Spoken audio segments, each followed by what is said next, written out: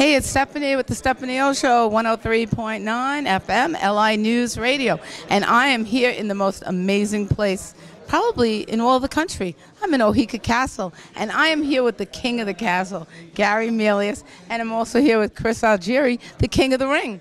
Uh, who's better than me?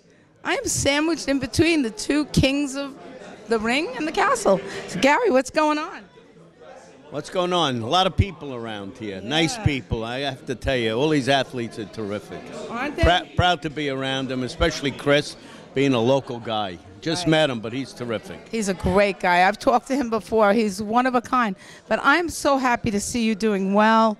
You look healthier than ever, and it's just such a great thing because everybody was so worried about you, and you know, you put a lot of you made a lot of people very nervous. Uh, We're blaming you.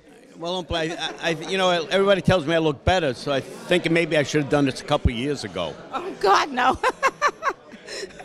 we could figure out better ways like plastic surgery and spas and all kinds of things to look better than that.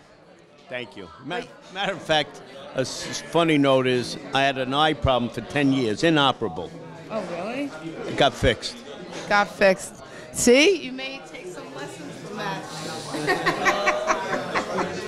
that eye looks scary.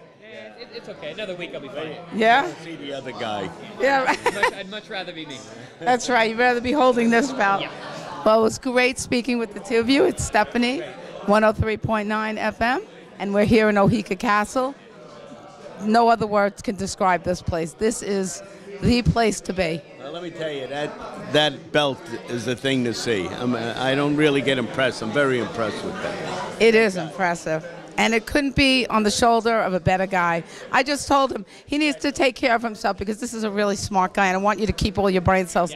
Look at some of these fighters. Look at this guy though. He's 15 I know. World champion, sharp as a tack. I've interviewed him. He's amazing. incredible. He is. Incredible. We're going to go talk to Bernard Hopkins next. You know what? I think we're going to walk over and bother him. That's what I'm